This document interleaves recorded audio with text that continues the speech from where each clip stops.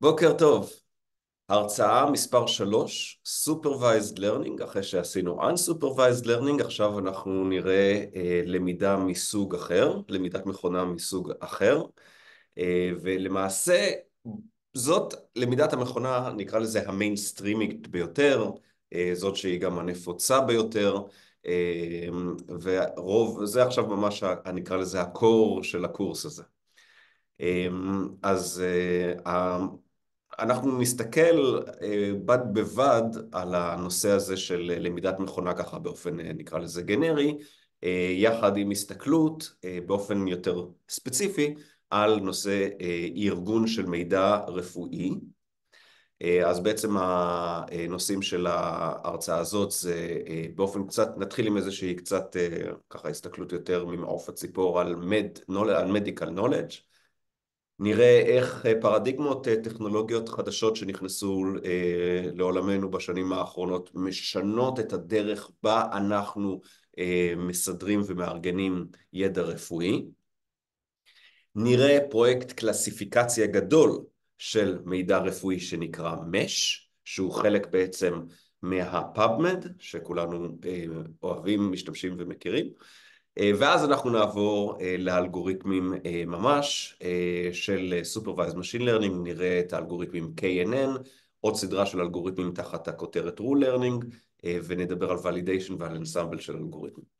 בסדר, אז כמו שאמרתי אנחנו נתחיל דווקא קצת יותר בהסתכלות, אני חושב מאוד מאוד מעניינת, על נושא של ידע, על ארגון ידע רפואי, וכמו שאמרתי זה הליבה של נושא ה...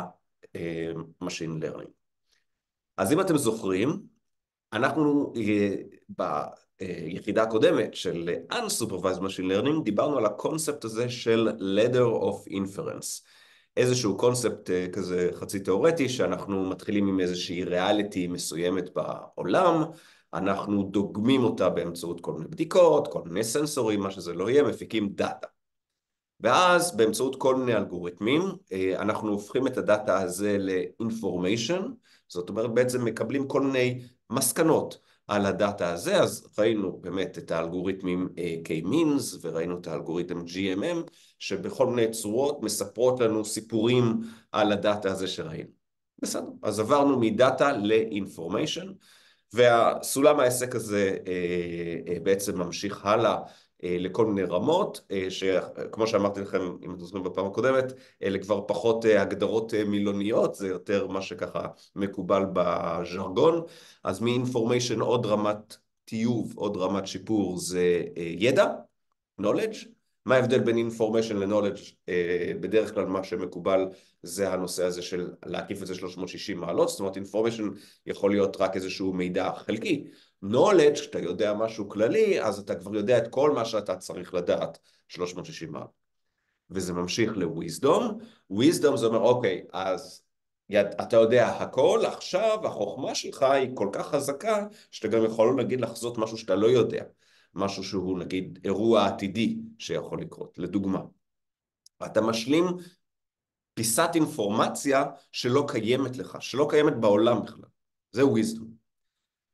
ובעקבות הוויזדום הזה אפשר לקבל גם איזושהי decision והיא תהיה באמת decision אה, אה, מלומדת אה, על פי ה-knowledge וה-wisdom שיש לנו ופה עצרנו אמרנו שאחרי, אם אתם זוכרים, אחרי שיש לנו איזושהי decision ונניח באמת ה-decision הזאת מביאה לאיזושהי פעולה אז אנחנו נקבל איזושהי new reality, נכון? והתהליך הזה ימשיך.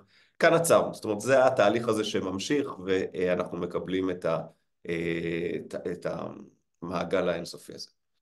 אוקיי, אז אם זה המעגל, שזה נראה לכולנו הגיוני, וזה באמת המעגל הקלאסי של Unsupervised for אה, Machine Learning, זאת אומרת, משהו שהוא אה, בעצם חולץ מתוך הדאטה, זאת אומרת, הדאטה מספר לנו את הסיפור, כפי שהגדרנו עד עכשיו, מה זה ה-Supervised Machine Learning, מה זה בכלל Supervision, אז המשך של הקונספט הזה הוא כזה דבר.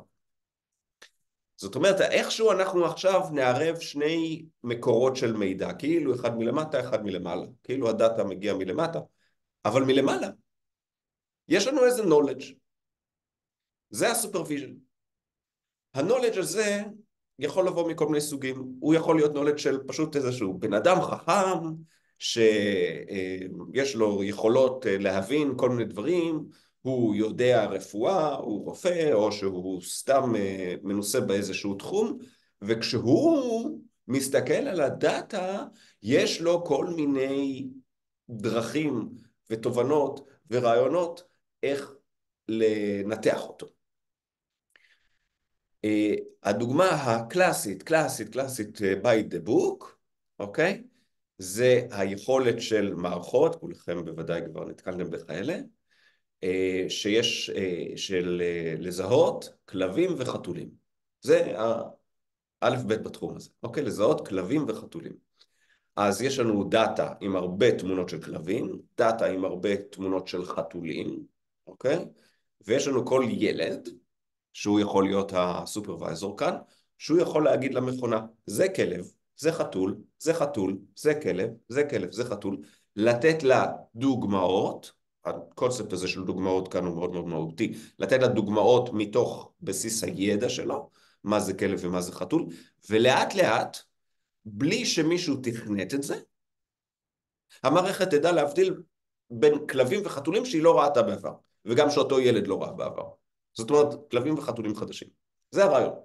זאת אומרת, יש לנו, עכשיו נעבור לסוג, עוד פעם לעולם של הדאטה הרפואי, אז יש לנו דאטה רפואי, אפשר לנתח אותו בשיטות unsupervised כאלה ואחרות, שיטות סטטיסטיות כאלה ואחרות, אבל אפשר גם לקחת איזשהו, לא ילד, איזשהו מומחה, והוא יגיד, זה ימות, זה יחיה, זה יחיה, זה ימות, לא יודע, משהו כזה, ו... או פה יש אה, סרטן ממאיר, וכאן זה אה, גידול שפיר, לא יודע, בסדר? כל משהו שמומחה כזה יכול לעשות ברמה האנושית שלו, הרבה פעמים אלה דברים שאנחנו לא יכולים אפילו להסביר, שהם יותר עניין של האנצ'ים, בסדר, ואנחנו רוצים עכשיו שהמערכת תדע ללמוד את מה שיש בתאים האפורים של אותו מומחה. זה סוג של supervision. זאת אומרת, האיש הוא אה, עם כל מיני כישורים, אנחנו רוצים עכשיו להעביר את הכישורים האלה לאלגוריתמים. ואגב, לעשות את זה בלי לתכנת את זה. עוד דרך של supervision, חוץ מאותו נגיד הדוגמה הקלאסית של המומחה, supervision יכול להיות גם העתיד. מה זה העתיד? הכוונה, כשאני אומר עתיד, supervision על ידי העתיד, זה אפילו, אה, יש לזה מינוח יותר נחמד, זה מה שנקרא עתיד היסטורי.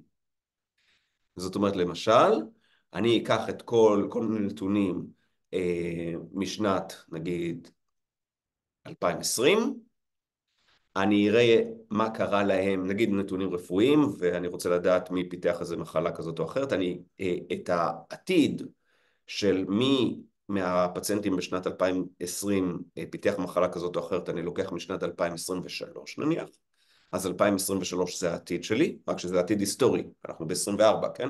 אז זה כבר קרה. אז עכשיו יש לי בעצם, כאילו במקום איזשהו מומחה, יש לי מין כדור בדולח כזה של העתיד, אני עכשיו אלמד את אותן מערכות איך לזהות אה, כלבים וחתולים, או שפיר וממאיר, או מה שזה לא יהיה, לפי ה, אה, בעצם מה שהעתיד גילה לי. עכשיו, היום אין לי עתיד, אוקיי?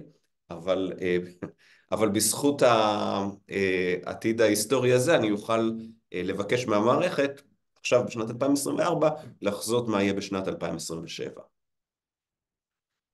אוקיי? זה הקונספט של Supervised Machine Learning. אז אנחנו לוקחים איזשהו ידע מומחי של מומחה, או ידע מהעתיד, או איזושהי דרך אחרת שמשלימה לנו את פיסת המידע החסרה, ומזריק את זה לתוך אותו תהליך של ניתוח דאטה חדש. אז יש לי כאן איזשהו משהו כזה משני מקומות, גם מלמטה כדאטה וגם מלמעלה כסופרפיצ'ר. זה, זה, זה הקונספט. עכשיו נראה איך זה פוגש את עולם ארגון הידע, כלומר אני אה, אה, לא נדבר עכשיו על כלבים וחתולים, נגיע גם לזה, אנחנו נדבר אפילו על משהו יותר חשוב ומעניין, שזה איך אנחנו אה, מנתחים ידע. והקונספט אה, שסביבו אה, נס, אה, נדבר זה קונספט שנקרא קלסיפיקציה.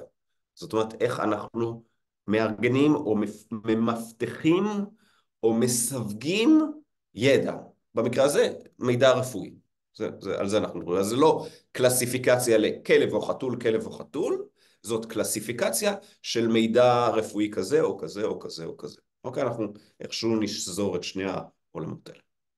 ומה שאתם רואים פה, תמונה של אה, ספרייה אה, מודרנית היסטורית, זאת אומרת אה, לא הלכנו היסטוריה עד המצרים, אלא ככה נראית ספרייה יחסית מודרנית, ומי שככה חקוק עליו בטאבו, השיטת קלסיפיקציה, שיטת הסיווג, אה, שבאמת אה, אה, הייתה מאוד נפוצה ובמידה מסוימת עד היום, לא באמצעים האלה, אבל עד היום בספריות, זה, אתם יודעים מזה? קצת היסטוריה? מי הרכיב העולמי? טוב, לא משנה. א' ב'? מי? א' ב'? מי זה א' ב'? כאילו, השיטה, התכוונת מה הייתה השיטה? לא, מי היה, מי אבי השיטה? אה, אני לא זוכר, הוא קידד את זה למספרים, כאילו במאות, ואז תתי נושאים, כאילו, לא זוכר את השם אה, שלו. אה, לא יודע אם אנחנו מדברים על אותו דבר, זה לא אגדה בדיוק, זה באמת נכון, זה ג'יי אדגר רובר. שכן, שהוא כאילו, הוא הקים הרי את ה-CIA, או את ה-FBI, אני תמיד מתבלבל בין שניהם. את ה-FBI. את ה-FBI. את הפנימי, לא את החיצוני.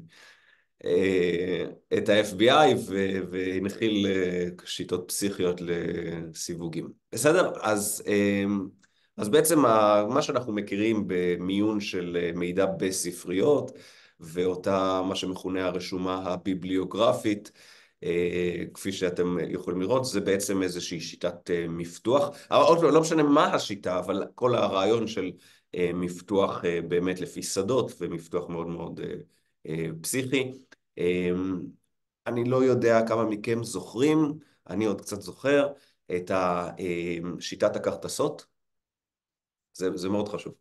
אתם זוכרים שהיו מגירות כאלה מאוד מאוד ארוכות, קצת מזכירות את המגירות שיש בבתי מרקחת. והיית, כן זוכר? אוקיי. סמדר. אז uh, זוכרת, אז היה נגיד רציתם איזשהו נגיד אותור שמתחיל ב-J, אז היו פותחים את המגירה של המחברים של ה-OJ ואז מחפשים את האותור הזה באיזה כרטיסייה, זוכרת. בסדר, אז uh, לשמחתנו, ככה זה היה, אבל זה אותו עיקרון, uh, לשמחתנו כמובן היום זה uh, ממוחשב ואי אפשר uh, לחזור אחורה. אה, ובעצם השיטה הזאת אה, של הרשומה הביבליוגרפית שבאמצעותה אנחנו מבטיחים מידע, גם היום בפאבמד למשל, נדבר גם על דברים, שיטות יותר מודרניות, אבל זה בעצם מה שנקרא שדותי. זאת אומרת, יש כל מיני שדות, כמו שאתם רואים, keyword, paper title, title keyword, subject category, subject וכן הלאה. ויש לנו כמובן כל מיני מנועי חיפוש כאלה, אנחנו יכולים להגיד למשל בקיוורד אה, אה, שתי מילים שאנחנו מחברים אה, ביניהם באיזשהו קשר כמו ה-end או or או דברים מהסוג הזה, ובצורה כזאת אנחנו ממיינים או, או שולפים את המאמרים או מה שזה לא יהיה, אשר עברו קלסיפיקציה לפי השדות הללו. זה הרעיון. ככה נראית אה, רשומה ביבליוגרפית. עוד פעם, אני מראה לכם קצת היסטוריה, זה ממש מתוך איזושהי מערכת אה, של ספריות קלאסיות כאלה. הרבה אה, נמצאים גם ככה עד היום.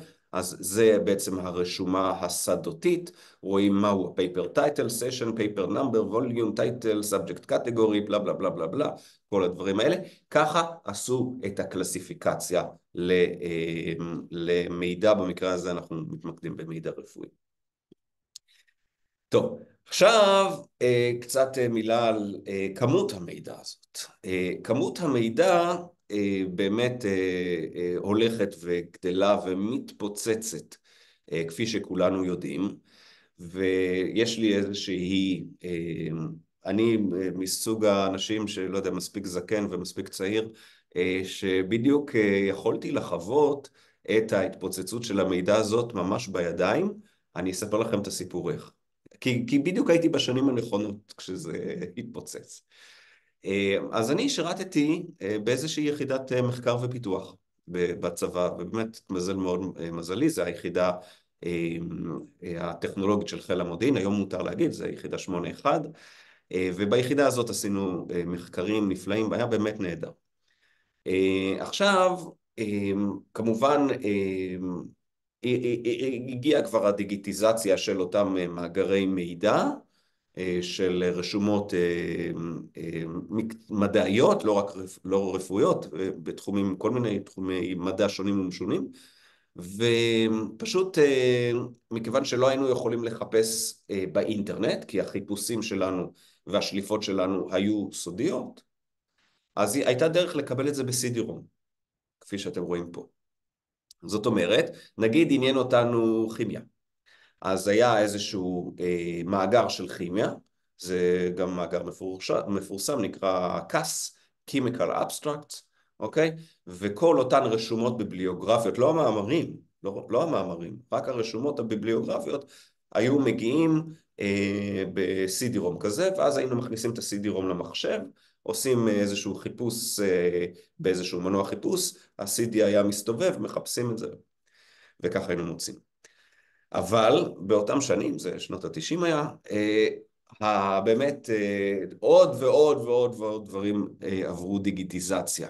אז מסידי-רום שהיה מגיע עם האבסטרקטס, עם הרשימות הביבליוגרפיות החדשות, נניח פעם בחודש, זה הגיע לפעם בשבוע, ואחר כך זה כבר לא היה סידירום אחד שמגיע פעם בשבוע, זה היה שני סידירומים שמגיעים בשבוע, ואז חמישה סידירומים, וזה ממש קרה באותם שנים, בסוף שנות התשעים, ואפילו אמצע שנות התשעים, וראיתי את זה קורה, והתחילה של השירות שלי לא דמתה לסוף של השירות שלי, היינו כל הזמן צריכים לחפש מידע הכי עדכני שיש בעולם הזה, ואז מכיוון שהיה כמות גדולה של סידירומים, אז אה, הייתי, הייתי, הייתי, הייתי צריך לעשות חיפוש מסוים, להכניס סידירום אחד, לעשות, לקבל את התוצאות, להוציא את הסידירום הזה, להכניס את הסידירום השני, להוציא את הסידירום הזה, להוציא את הסידירום השלישי, וכן הלאה.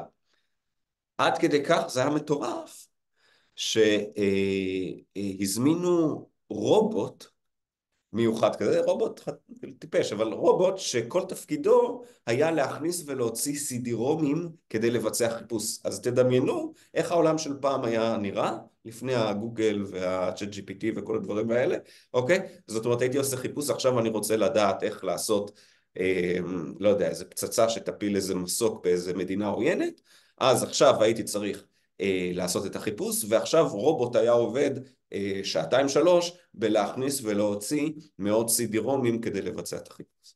אוקיי? אז זה היה העולם אה, של פעם. המידע בהחלט מתפוצץ אה, ברמות מטורפות. אז היום בזכות באמת המהפכה הדיגיטלית יש לנו וכשאפשר לעשות את החיפושים האלה גם באינטרנט אז זה בוודאי יותר קל אז יש לנו את השירותים הנפלאים כמו למשל הפאבמד שאנחנו יכולים אה, לעשות את זה אה, באופן אה, מאוד מאוד פשוט באמת בלחיצת כפתור. עכשיו אני לא יודע כמה אתם מכירים, PubMed זה רק מאגר אחד של Publications בתחום של medicine, אבל בעצם זה אפילו סיפור יותר גדול מזה, זה בעצם פרויקט נורא גדול שבמרכזו זה ה-National Library של ארצות הברית, אה, והוא נקרא Entrez, דווקא בצרפתית, אה, ו PubMed, כמו שאתם רואים, הוא כאן database אחד, מיני רבים שהם גם קשורים אחד לשני. זאת אומרת, הקלסיפיקציה כאן של המידע הרפואי קורית בכל מיני מימדים ורובדים שונים. אז PubMed הוא באמת העיקר, אבל יש עוד database ים שונים, database ים של חלבונים למשל, וזה נורא נחמד, כי אפשר אה, בעצם אה, לקשר בין אה, מאמר מסוים שמדבר על חלבונים מסוימים, ואז סוג של להעביר את הפוקוס מהמאמר לפרוטאינס, ועכשיו גם מהפרוטאינס האלה לקפוץ לדאטאבייסים אחרים, לגנים ולסניפים ולנוקלוטידים ולטקסונומי ומה שזה לא יהיה. זאת אומרת זה בעצם מין מאגר, אם, אם, אם תיכנסו לזה לעומק, לדבר המטורף הזה שנקרא PubMed או Entrez, אז בעצם זה באמת database שדותי, אבל יש כמה database ים שונים כאלה, והשדות של database אחד מדברים ומקושרים עם השדות של database שני, וזה פסיכי. זה באמת באמת מטורף. אה, הנה כאן הסתכלות על גנים, זה... הגיעו שם לרמות קלסיפיקציה שאין כאלה, באמת רמות אה, בית מרקחת. אה, טוב, אבל אה, היופי של הקלסיפיקציה הזאת שנעשתה בצורה ידנית, עם כל הכבוד לידני ול supervision או למומחיות הידנית, פגשה שינויים אה, שקרו בשנים האחרונות ב, אה, ב, ב, מהדיסציפלינה של מדעי המחשב. אה, אז בואו נראה, בואו נעשה איזה סריקה מאוד מאוד מהירה של איזה דיסציפלינות אנחנו מכירים. אז קודם כל כמובן אי אפשר שלא להזכיר את גוגל. גוגל, בניגוד לספריות ובניגוד לפאבמד, כפי שראינו אותו עכשיו, או לאנטרז, כפי שראינו עכשיו, יודע לעשות המון קסמים באופן אוטומטי. כלומר, גוגל שלקח את כל המידע כאן מהעולם, או לא, לא את כולו, אבל, אבל המון מידע מהעולם, והוא לא ממפתח אותו. הוא לא ממפתח אותו, הוא לא עושה את החלוקה הזאת למפתחות, לסיווגים וכולי. הוא יודע, אנחנו כותבים מה שאנחנו רוצים, ואיכשהו מגיע לנו משהו נכון. יש המון אלגוריתמים מאחורי הקלעים, זה אלגוריתמים שאנחנו נלמד ב, אה, גם בשיעור הזה, בהרצאה הזאת ש, של הקלסיפיקציה באופן כללי, וגם אה, באופן אה, קצת יותר ספציפי בהרצאה הבאה, כשנדבר על עיבוד שפה טבעית. אבל לא משנה, יש המון אלגוריתמים מאוד מאוד חכמים, אחד מהם אפילו, חוץ מהנושא הזה של החיפוש, אחד מהם זה מה ששמתי לכם פה במסך. שאפילו, לא רק שהוא מוצא לנו את מה שאנחנו מחפשים, הוא אפילו עוזר לנו להשלים את החיפוש. כן, אני, אם תיכנסו, my right arm feels like, ואז הוא נותן כל מיני השלמות של החיפוש שמבוססות על חיפושים שעשו אנשים לפניי וזה נראה שזה מתאים, או, או לאו דווקא על, uh, רק על החיפושים שאנשים עשו, אלא גם על מידע מתוך הטקסטים, מתוך מה שיש לו, שהוא יודע אה, בעצם להבין שם באופן אוטומטי למה אני כנראה מתכוון. זה אלגוריתמים פסיכיים, פסיכיים, עוזרים המון ומבוססים על ה-Supervised Machine Learning כפי שאני אראה כאן.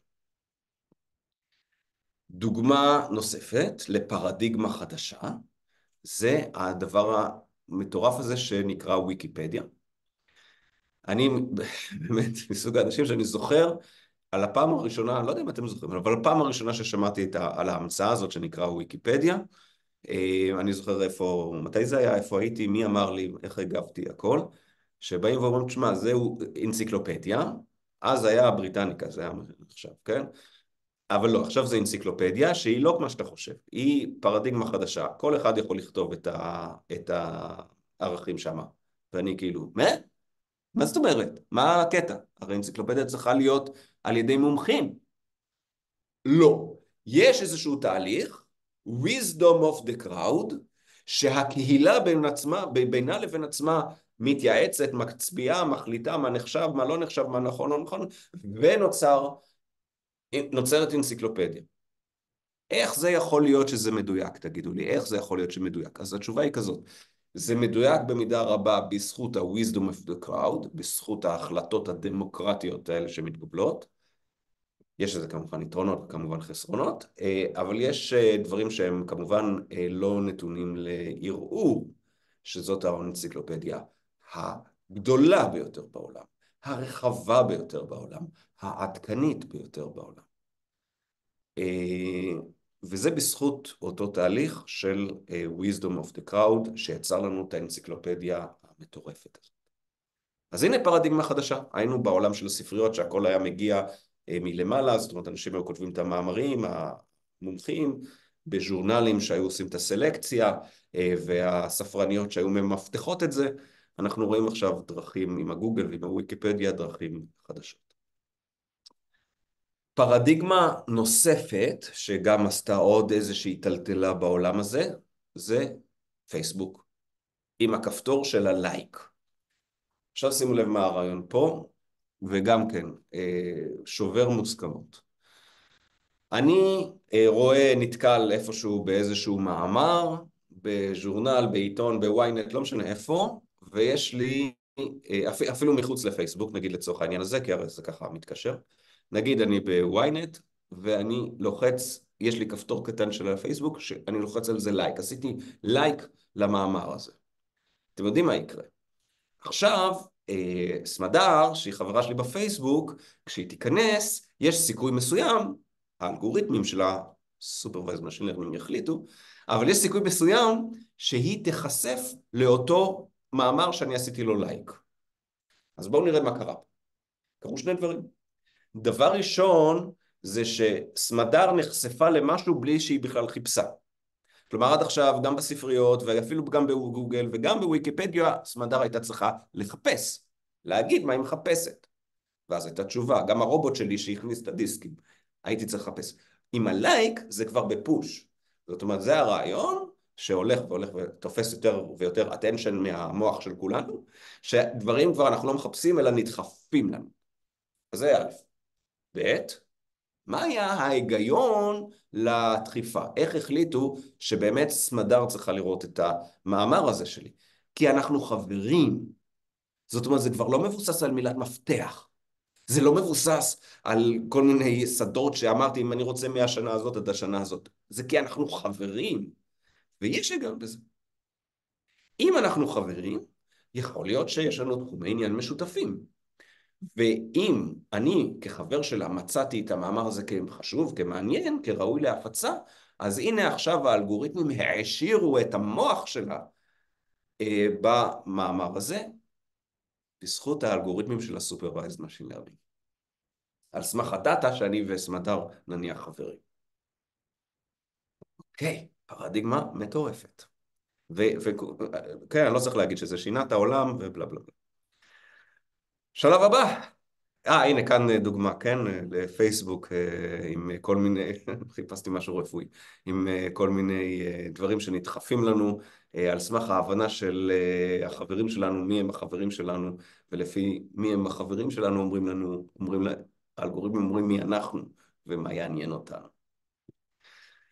טוב, והשלב הבא באבולוציה זה שלב אה, שהתחילה אותו טוויטר, אקס היום, אה, הוא נכנס אה, ליותר וזה מה שנקרא ההשטג. אז כולנו היום מכירים את הדבר הזה של ההשטג, יש אותו גם בטיק טוק ובאלף ואחד מקומות אחרים. מה זה ההשטג? מה זה הסולמית הזאת? מה, מאיפה היא הגיעה? פסיכי. אה, אני יכול לכתוב בפייסבוק, בטיק טוק, בטוויטר, לא משנה, בכל מקום, אני יכול לכתוב משהו. אני יכול לשים מאמר, אני יכול לכתוב, לשים תמונה, לא חשוב. ואני עושה סולמית ואחר כך איזשהו ביטוי. בסדר? מה זה, מה בעצם עשיתי? מפתחתי. אני, אני רונן, מפתחתי.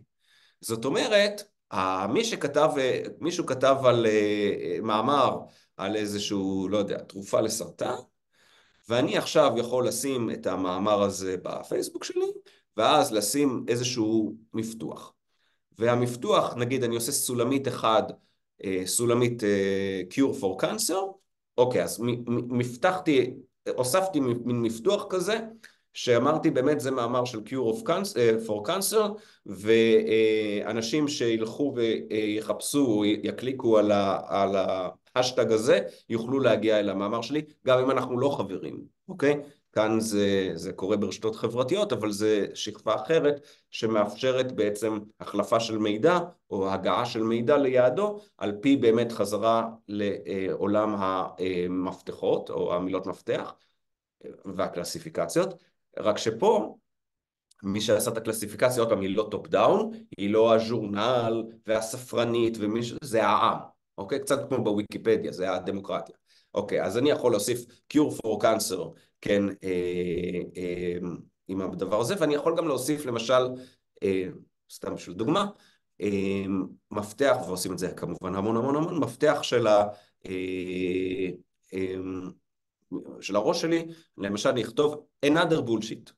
אני יכול לעשות אה, מין מפתח כזה, מין השטג כזה, another bullshit. אז אני רונן הקטן, עשיתי מפתוח לאותו מאמר מדעי, קראתי לו another bullshit, ו... או another bullshit for cancer, נגיד סתם, ועכשיו גם כן, אנשים אחרים שלוחצים, נתקלים בהשטג הזה, יוכלו עכשיו ללחוץ עליו, וההשטג הוא אה, קליקבילי, זאת אומרת זה שדה שממפתח אבל הוא גם קליקבילי, ולראות עוד מאמרים שתויגו כ-another bullshit for, for cancer, רק לצורך הדוגמה. אז אנחנו רואים דרכים שונות ומשונות ומורכבות רב-ממדיות איך אנחנו עושים קלסיפיקציה של מידע, אה, איך עושים ארגון של מידע. אנחנו ראינו מתוך ההסתכלות של המתודולוגיות, שלאט לאט אני רוצה ככה להחדיר לכם אותה. מה אנחנו רואים פה? אנחנו רואים כאן מה שנקרא אה, חלק ממתודולוגיה שנקראת תורת הגרפים, graph theory. גרף אה, במדעי המחשב זה בעצם רשת, זאת אומרת רשת שיש בה נקודות, נקראים נודים, וקשתות או links בין הנודים, אה, ובעצם אנחנו רואים, אם ניקח כל פיסת מידע, כל מאמר או כל דבר, אנחנו יכולים לראות את זה כ node, ויש המון המון המון קשתות בין הנודים, שמקשרות מאמר אחד למאמר אחר, אה, והקשר הזה יכול להיות קשר לפי אה, מילת מפתח שהגדירו בספרייה, או לפי רשת חברתית שהגדירה שאני וסמדר חברים, או לפי השטג כזה או אחר, זה, מאוד, זה רשת שהיא מאוד מאוד רב-גונית.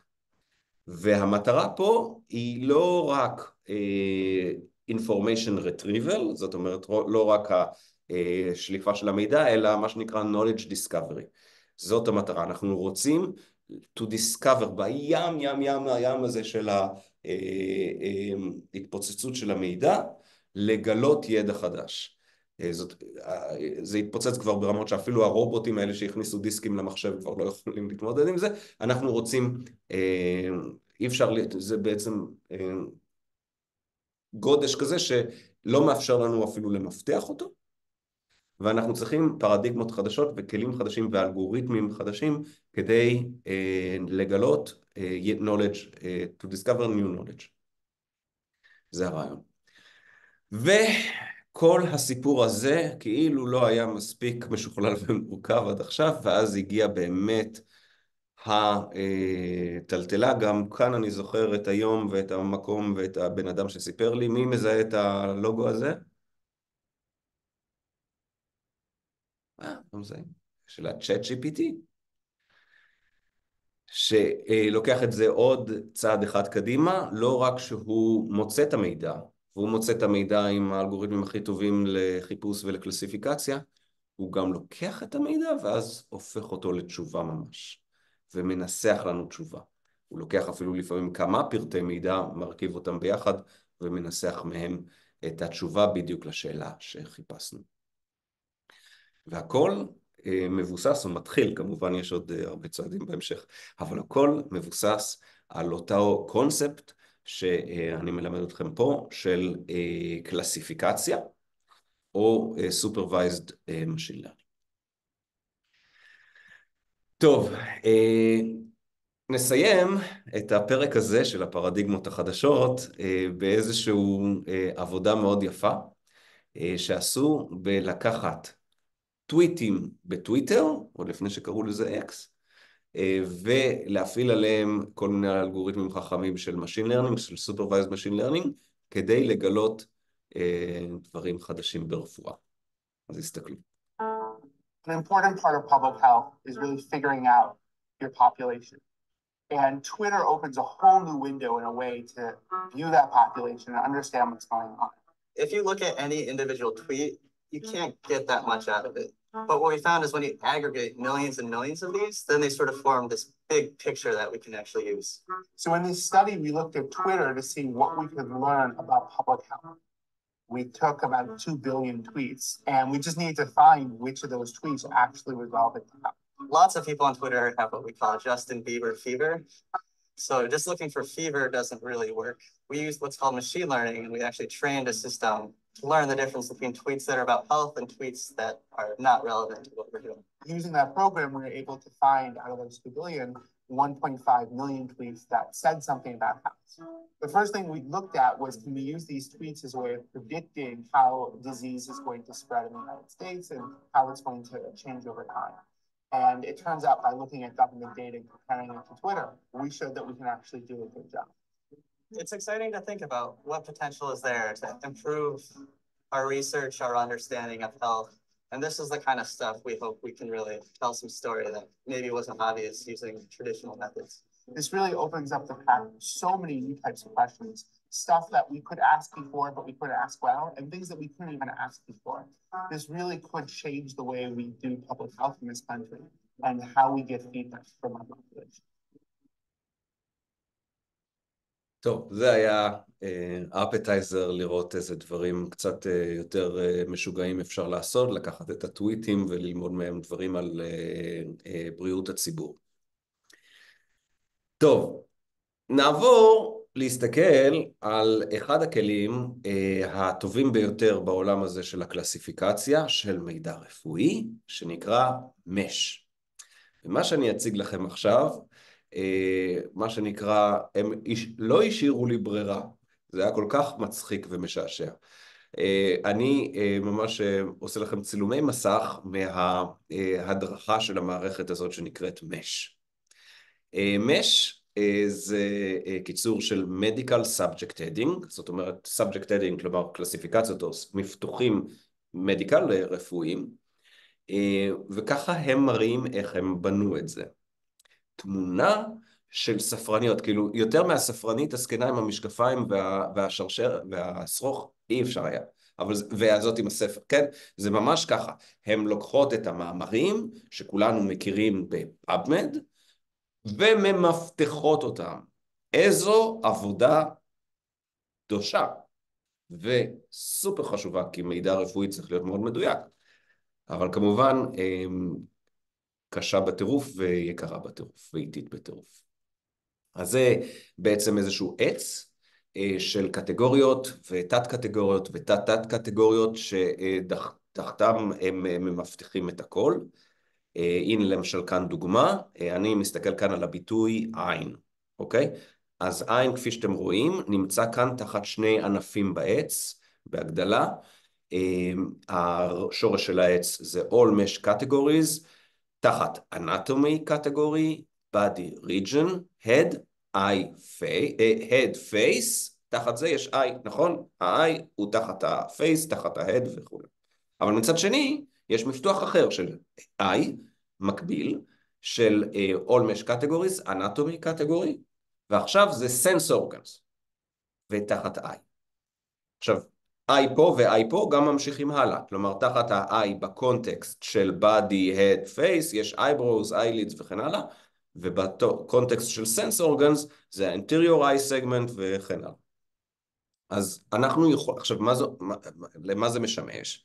אנחנו מחפשים מאמרים באיזה נושא של עין, אוקיי? אנחנו נוכל לבחור כדי למקד את החיפוש, אם אנחנו מדברים על עין בקונטקסט הזה, או עין בקונטקסט הזה, או אם אנחנו רוצים לעלות למעלה בהיררכיה או לרדת למטה בהיררכיה. זאת אומרת, ה-Medical Subject Heading שהוא integrated בתוך, בתוך PubMed, מאפשר לנו אה, בצורה מאוד מאוד מקצועית אה, לעשות אה, קלסיפיקציה על המאמרים שיוצאים לנו מהחיפוש. נגיד עשינו חיפוש, יצאו אלף מאמרים, אנחנו לא, נעבוד על ה... לא נוכל לעבור על האלף מאמרים, אז נשתמש בקלסיפיקציה הזאת.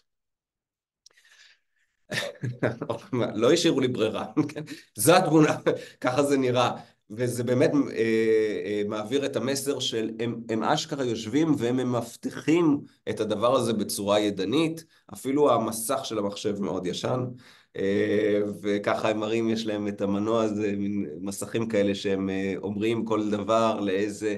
אה, אם זה שייך למבוגר או צעיר ולאיזה איזה אנימל, אם זה human או cats או מה שזה לא יהיה, בסדר? ואין ויטרו, מלא, מלא מפתוח, מפתוחים, והם יודעים כל דבר, הם יושבים ומבטיחים ככה עם העיניים. אתם מבינים כבר למה אני... כן, מה המסר התת-קרקעי כאן, שאפשר לעשות זה אוטומטית. ואולי אפילו יותר מדויק. טוב, בכל מקרה רק להסביר איך משתמשים בזה, אז אתם מחפשים בפאבמד, כמו שאתם יודעים, נגיד headache ו therapy, ואז מקבלים הרבה מאוד מאמרים, אבל אז אפשר כאן ללחוץ על ה... יש איזו חלונית כזאת, אפשר לפתוח אותה, וכאן מגלים את כל הדאטאבייסים שהראיתי לכם בהתחלה עם הרשת הזאת של proteins וזה, ואפשר למקד את זה יותר. אז הנה כאן protein, nucleotide וכן הלאה, ואם תרדו למטה תראו MeSH, אוקיי? ואז אתם נכנסים ל MeSH, ועכשיו כבר לא מסתכלים על זה ברמת המאמרים, מסתכלים על זה ברמת ה-subject headings. אז כאן gastroparesis, למשל, לצורך העניין, אפשר לראות קודם כל איזשהו הסבר, מה אומר ה-subject heading הזה, chronic, delayed, דה דה דה דה, וה-subject heading של זה, אז אתם רואים, אפשר, יש איזה checkbox כזה שאפשר למקד את החיפוש רק לפי התתי נושאים בקונטקסט הזה. אפשר לראות את זה גם כן בצורה היררכית, כמו שהראיתי קודם. אוקיי, אז כאן זה gastroparesis, זה תחת digestive system diseases, וכאן זה תחת pathological conditions, signs and symptoms. אוקיי, והנה כאן דוגמה שהם נתנו, זה אמרתי לך צילומי מסך כאלה, light therapy, אז בעצם רואים ש-light therapy כמילת חיפוש זה נחמד, אבל המילה, ה-subject heading היותר רלוונטי זה phototherapy, אז הם ממקדים אותנו במינוח היותר מקובל, ואז אנחנו יכולים להיכנס לתוך פוטותרפי, ושוב לראות את הדברים האלה, יש כאן עוד דברים, יש entry terms, זאת אומרת עוד מילים נרדפות, כמו שאני חיפשתי light therapy בהתחלה, זה בעצם מילה נפרדת, נרדפת לפוטותרפי, ויש גם עוד כל מיני מילים נרדפות שכאלה, או, או ביטויי, ביטויים נרדפים אה, כאלה. אה, אז אני יכול אה, להתמקד בהם, לראות את, ה, את ההיררכיה וכן הלאה וכן הלאה, אוקיי? כאן זה co-Q10, זה קואנזים נכון? קואנזים Q10, אז אני רואה, לוקח איזשהו שם של מולקולה במקרה הזה, וגם כן יכול לראות אפילו לא רק לפי שם של מולקולה את ה-subject heading של זה, אוקיי? עם הרבה מאוד מילים שקשורות לזה והכל. טוב, בסדר. עד כאן העולם הישן. עכשיו נראה איך זה, איך מתחילים להפגיש את זה עם בכל זאת טכנולוגיות קצת יותר מודרניות, שכבר לא סיפור, כאילו, הם ניצחו, אוקיי? פעם עוד היה איזה מחשבה, כן, לא, לא, די, הסיפור הזה נגמר. האלגוריתמים, במיוחד אלה שיודעים לעשות קלסיפיקציה של כל דבר. ובאופן ספציפי קלסיפיקציה של טקסט, ניצחו. וכאן אנחנו נדבר עוד לא על הטקסט, אלא על החלק של הקלסיפיקציה. והאלגוריתם הראשון שנלמד, זה אלגוריתם שנקרא KNN, שהוא אה, קיצור של K nearest neighbors, K השכנים הקרובים, והמוטיבציה אה, של האלגוריתם הזה, זה כפי שאתם רואים, בדיוק התהליך הזה שהם אה, אה, שמו שם בהסבר, במקום זה, במקום, מה שאתם רואים פה, במקום זה, אוקיי? באופן אוטומטי. אז מה הרעיון של האלגוריתם הזה? אנחנו, אה, אה, עוד פעם, אפשר להסתכל על זה ברמה של מאמרים מדעיים, כאן אתם רואים למשל, אה, יש גם את העניין של למצוא את המאמר המדעי, אבל אפילו, אה, בואו נעשה את זה אפילו לא רק לטקסט. ולא רק בשביל הדוגמה שאני הראיתי פה של קלסיפיקציה כדי למצוא את המאמר, אלא כאן, אה, בתוך המאמר. הם עשו כאן איזשהו אה, קלסיפיקציה, איזשהו סיווג אה, של אה, המוטציה הזאת, של ה SNP הזה, אה, ל hypertension. אוקיי? ה SNP של אה, גלו 289 לאספרגין, גלוטמין לאספרגין. עם hypertension, אוקיי? זאת אומרת, זה לא רק למצוא, לא רק משתמשים בזה כדי ללמוד על הקשר בין ביטויים לבין מאמרים בטקסט, אלא אפילו בין כל, כל, כל סוג של סיווג, של קלסיפיקציה כזאת או אחרת. אז כאן הקלסיפיקציה היא בין הנוכחות של ה SNP לבין hypertension.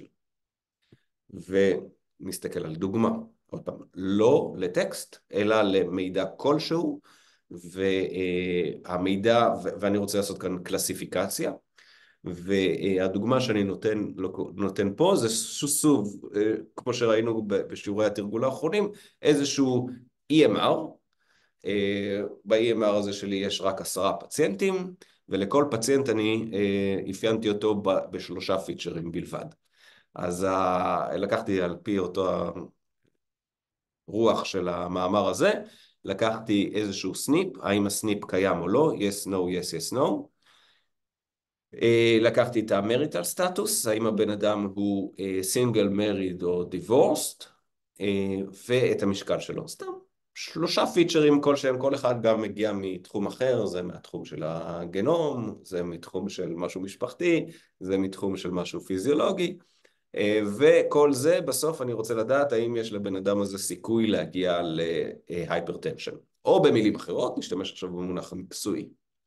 אני רוצה לסווג אותו כ-chance of hypertension yes, או לסווג אותו כ-chance of hypertension no. כלומר, קלסיפיקציה היא סוג של בעיית יסוד, שאיתה אנחנו יודעים לעשות שלל פעולות. אוקיי, אז יש לנו כאן שני יש לנו כאן בעיית קלסיפיקציה, יש לנו כאן שני קלאסים, אני רוצה לקחת כל אחת מהרשומות שלי, כל אחד מהפציינטים שלי, על הסניפים, המריטל סטטוסים והווייטים שלו, שלהם, ולהכניס כל פציינט או לקלאס של chance of hypertension yes, או לקלאס של chance of hypertension no. ב-EMR שלי, עבור העשרה האלה, יש לי את התשובה. התשובה היא ה supervision. ה supervision, כאן רואים את הקלסיפיקציה שכבר נוצרה, היא נוצרה לי על ידי המומחה, כמו שאמרתי בהתחלה, או על ידי העתיד, אותו עתיד היסטורי. אז יש לי כאן עמודת, היא נקראת עמודת ה class, chance of hypertension, ומילאו לי אותה. אני כבר יודע על עשרת הפציינטים האלה את התשובה, או כי הבאתי את הרופא המומחה מהרווארד, או כי אה, האלה בכלל פציינטים ישנים מלפני עשר שנים, ואני יודע כבר אם הם קיבלו hypertension או לא. כל זה טוב ויפה, זה מה שנקרא ה supervision, ועכשיו אני אומר, מחשב מחשב, בבקשה ממך, תגיד לי מה יקרה עם פציינט חדש. יש לי פציינט חדש, פציינט 11, יש לי את כל הדאטה עליו, אני לא יודע לאיזה class הוא שייך. אני רוצה לעשות לו קלסיפיקציה. אני רוצה להגיד האם הפציינט הזה יהיה עם hypertension או not, אוקיי? וכמו שאמרנו, או, או לצורך העניין, נחזור רגע לבעיה שאיתה הראיתי קודם, הנה מאמר חדש, אני רוצה לדעת האם המאמר החדש הזה יעניין אותי או לא יעניין אותי. או האם הוא מדבר על אה, gastroparesis או לא מדבר על gastroparesis. זה הרעיון, קלסיפיקציה, בעיית יסוד. אוקיי, אז זאת הדוגמה שלנו, מה התשובה? על פי הרעיון או על פי האלגוריתם הזה שנקרא KNN, אה, אנחנו נעשה את הדבר הבא. נסתכל על הפציינט הזה ו... אה, אה, מה שנקרא instance based classifiers, זאת אומרת נייצר איזשהו classifier, נייצר מנוע שמייצר קלסיפיקציה על סמך instances, הגיוני? instances, כלומר סוג של, אפשר גם להשתמש במושג הנחמד, evidence based medicine, נסתכל על instances, על evidences של פציינטים אחרים ונראה uh, מה קרה איתם. אז הצורה הנאיבית לעשות את זה נקראת רוט לרנר.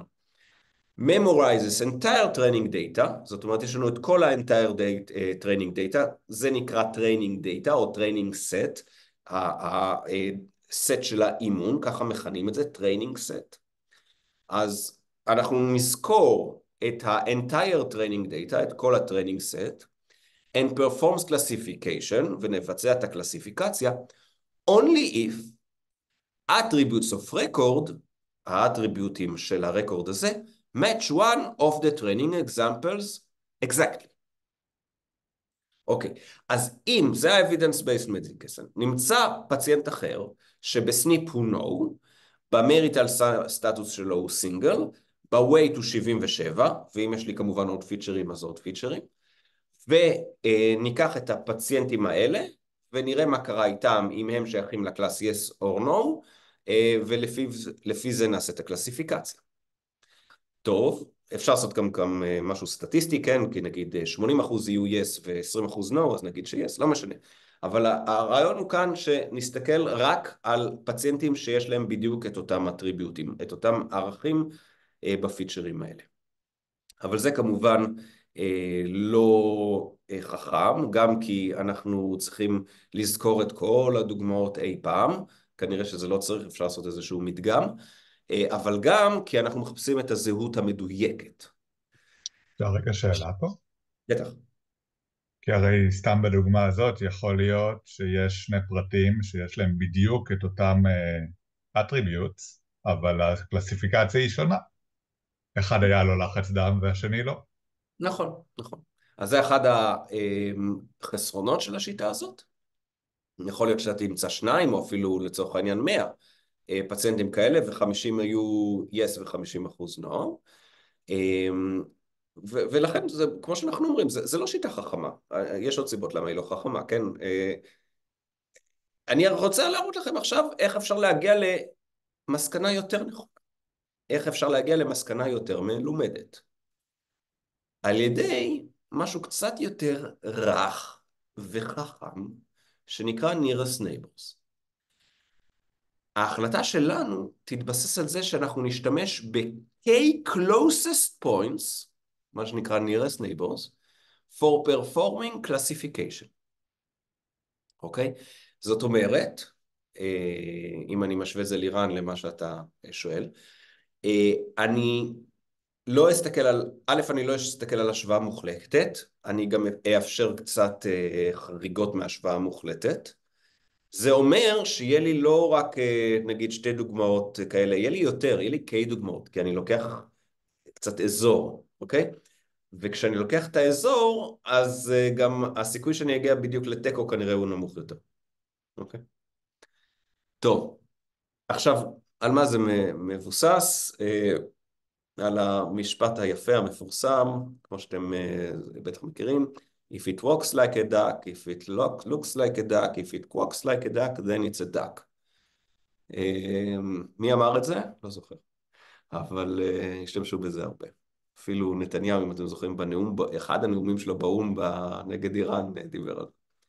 אז יש לנו בעצם את ה test record שלנו, ואנחנו לא יודעים אם זה duck או כל דבר אחר, אז אנחנו נסתכל על הגן חיות, אנחנו נמדוד את המרחק בין ה test record שלנו לכל אחת מהחיות האחרות, זה ה training sets, זה ה training records, אנחנו נמדוד את המרחק, אני לא יודע, איך זה נראה, גובה, משקל, צבע, צורת הליכה, צורת קרקור, לא יודע מה, כל הדברים האלה, נשאיר רק את ה-K closest, נגיד את ה-2, יהי K שווה 2, ואז אנחנו נראה שבאמת זה דק, זה דק, ולכן זה דק. זה הרעיון. K nearest neighbors. זה האלגוריתם הזה. אז הנה עשיתי את זה כאן, בשבילכם. ואמרתי, פציינט מספר 11, ה-3 closest neighbors, 3 nearest neighbors שלו, זה מה שאתם רואים פה בצהוב, 3, 8 ו-10. יופי, אז מה ההחלטה? הוא יהיה לו hypertension או לא יהיה לו hypertension?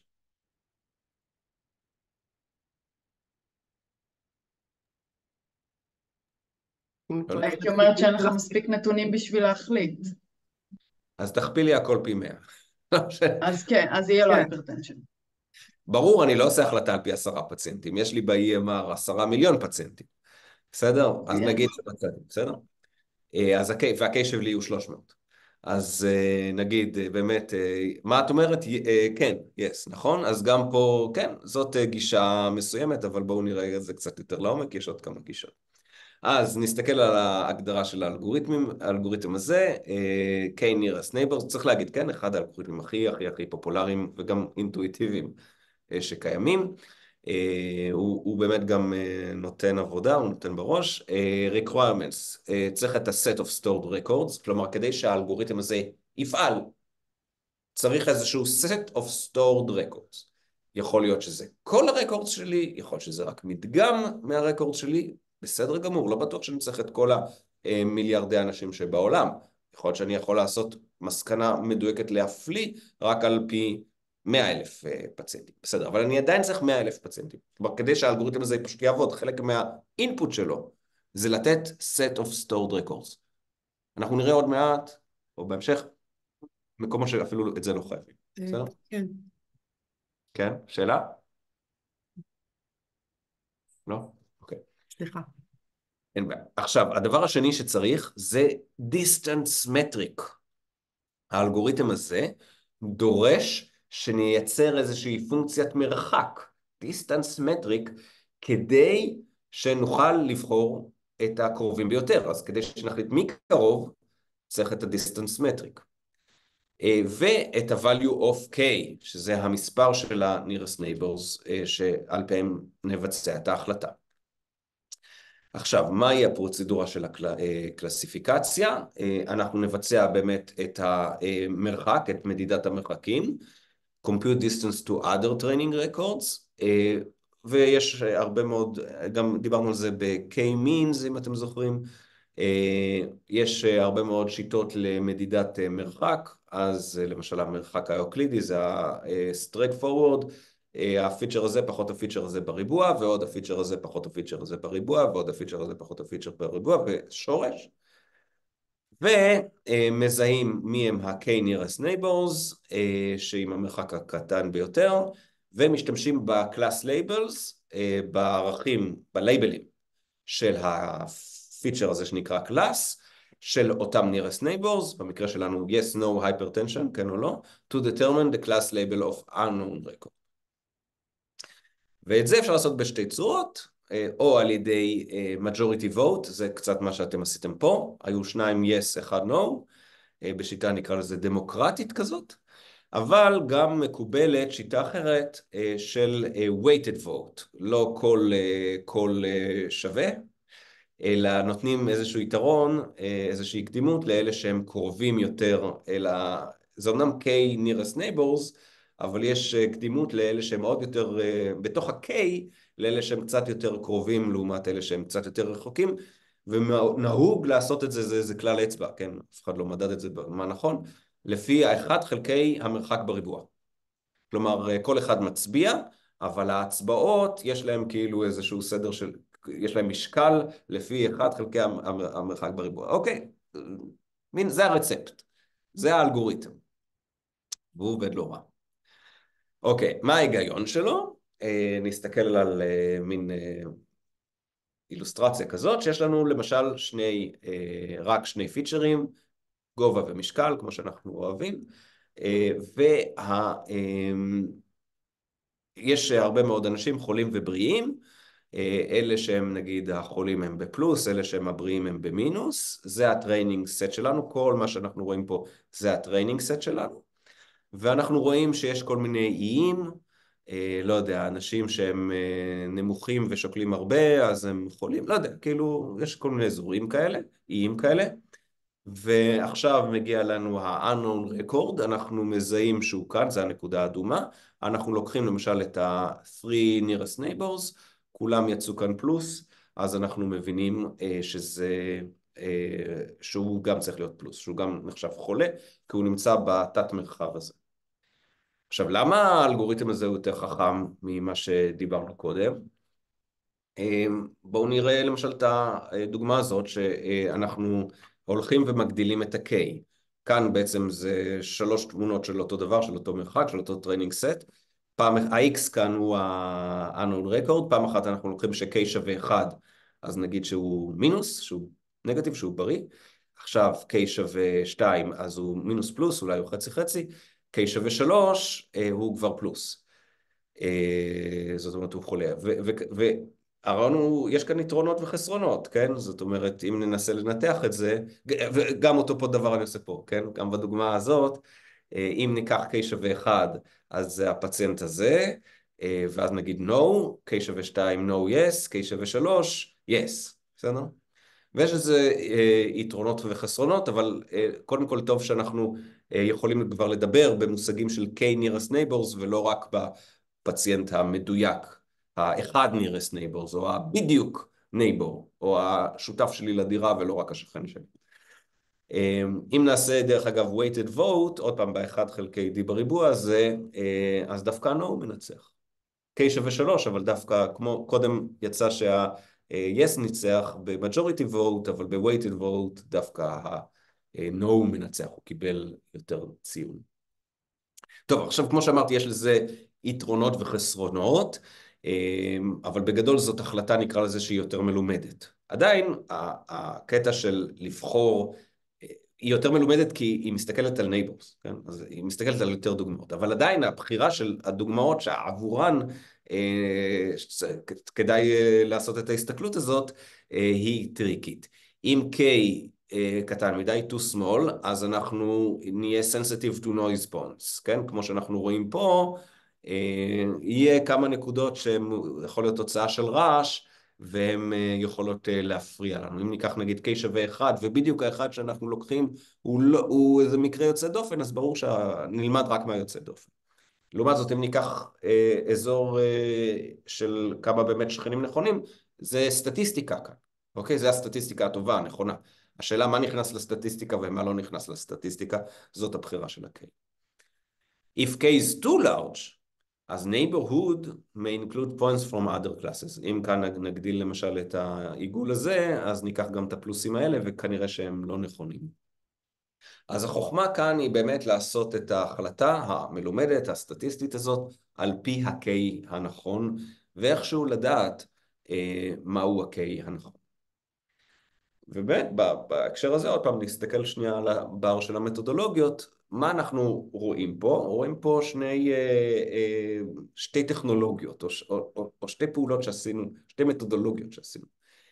אחד זה שעשינו problem abstraction, כמו שאנחנו אוהבים ותמיד רוצים וחייבים לעשות, לקחנו בעיה קשה של איך לדעת אם מישהו יהיה לו יתר לחץ דם, ומידלנו, ועשינו לה איזושהי הפשטה, אוקיי? לבעיית קלסיפיקציה.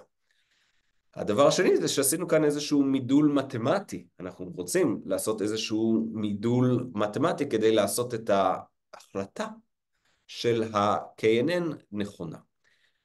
מה זה אותו מידול מתמטי? אני אראה את זה רגע בצורה גרפית ואז נגיע ליותר פרטים. יש מין הסתכלות כזאת שנקראת וורונוי דיאגרם, לא, לא צריך כאן מאוד מאוד להבין אותה, היא לא כזאת משנה, אבל באמת אם אנחנו עוד פעם מסתכלים בצורה המופשטת של שני ממדים, גובה ומשקל, ונעביר נקודה נקודה, מין מטריצה כזאת של לא יודע, מיליון על מיליון נקודות, ונראה איזה קלאס, מיליון על מטריצה כזאת עם נקודות תיאורטיות, כן? אבל נראה כל נקודה כזאת לאן היא עברה קלסיפיקציה על פי שיטת ה-K nearest neighbors, פתאום מתגלה לנו המפה הזאת, השכונות, זאת מפת השכונות. כל אלה יהיו class אחד, כל אלה יהיו class אחר, כל אלה יהיו class אחר וכן הלאה. כלומר, אנחנו מתחילים לראות איך בעצם המחלה הזאת, או מה שזה לא יהיה, מתבטאת כתלות בגובה ובמשקל ובשילוב בין גובה ומשקל, על פי KNN מסוים. חלק מהמידול המתמטי. טוב, אז אבל דרך אגב, שכחתי אולי לציין עוד משהו אחד, גם אמרתי את זה בעבר, כשהיינו ב-K-Means, דרך שלכם הרבה פעמים להשפיע כרופאים עם ידע אנושי שלכם, להשפיע כאן, אז א', אמרנו, זה Supervised Machine Learning, אז אתם יכולים לתת את הדוגמאות של מה נחשב כן, מה נחשב לא, אבל אני אכנס עוד פעם למודל מתמטי קצת.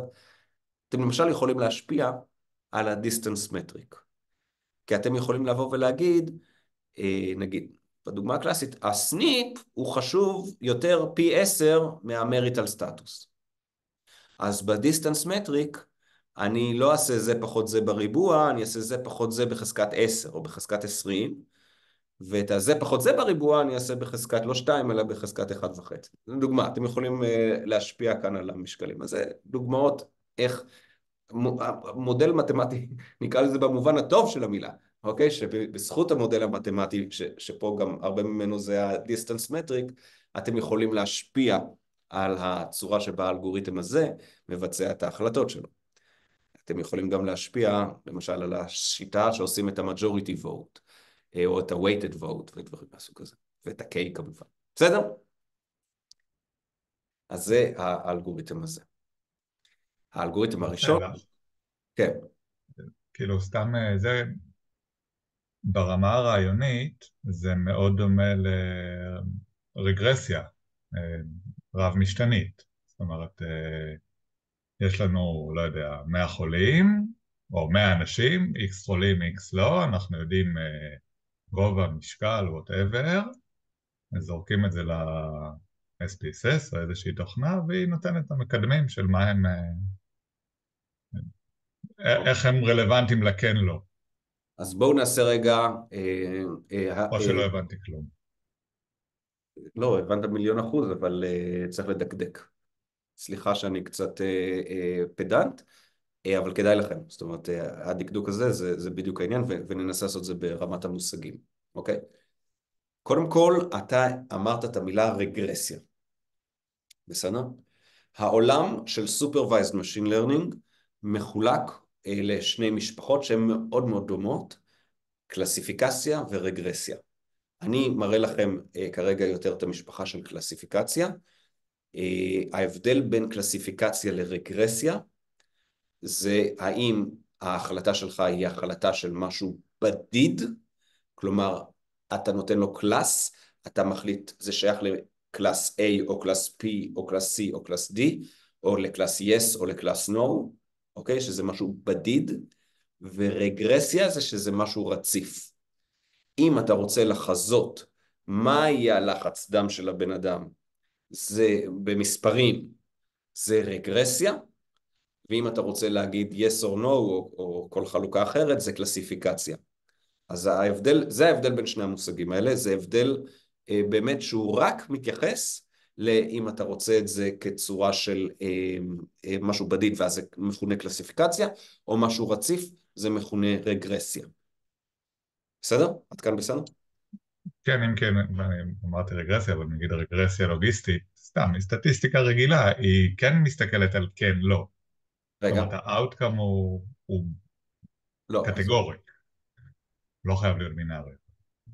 היא מסתכלת על כן לא הרגרסיה הלוגיסטית על ידי זה שהיא מנסה להעביר את עקומת הלוג, אוקיי? בצורה שבגלל זה זה נקרא רגרסיה, למה זה רגרסיה? כי, הצ... כי רגרסיה זה הפחתה, כן? היא מנסה להפחית את ה-residuals מהעקומה, כאילו, נכון? אוקיי. אז, אבל, אבל זה האיך, אוקיי? היא עושה את זה על ידי שיטת הרגרסיה להפחית את ה-residuals. אבל כשאומרים המה, אוקיי? קלסיפיקציה זה אומר כן או לא, כלומר הרגרסיה הלוגיסטית במקרה הזה זאת שיטת קלסיפיקציה.